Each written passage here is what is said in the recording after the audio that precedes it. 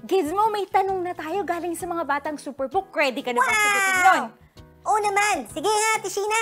Sige, ang unang tanong ay galing kay George, 9 years old. Tanong niya, Gizmo, mapupunta ba sa langit ang mga kaibigan ko?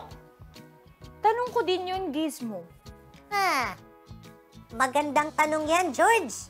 Alam mo, ayon sa Bible, ang sino mang tumawag sa pangalan ni Lord Jesus ay maliligtas.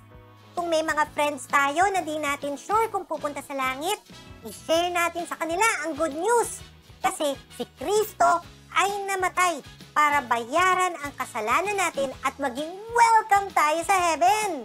Amen, Gizmo! Amen. Maraming lessons ang pwede pa nating matutunan sa Superbook Bible app. Aha. May overview tab tayo para malaman natin kung tungkol saan ba yung binabasa nating kwento. Meron din tayong profiles tab para naman malaman Wow. kung sino ang bida ng kwento. At ito pinaka-exciting, Gizmo! Yan. Meron tayong devotional para mag-guide tayo ni Lord sa araw-araw.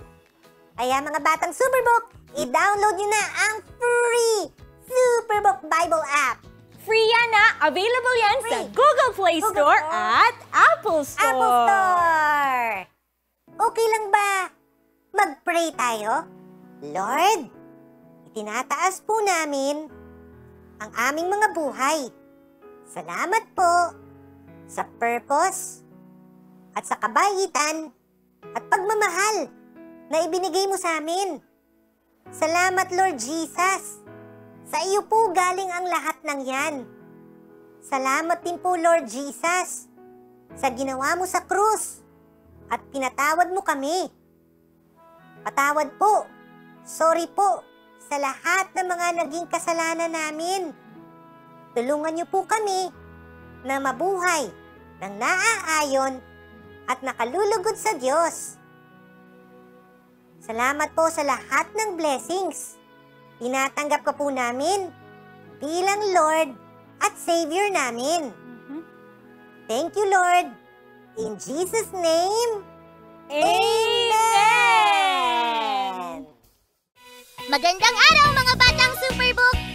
Nandito na ang pinakamasayang online kwentuhan at tanungan ng mga batang Superbook. May kayo tungkol sa Superbook Adventures namin ni na Chris at Joy?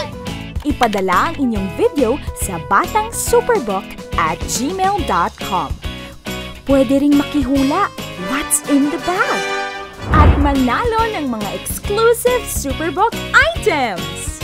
Abangan sa linggo at 6pm sa aming Facebook and YouTube channel.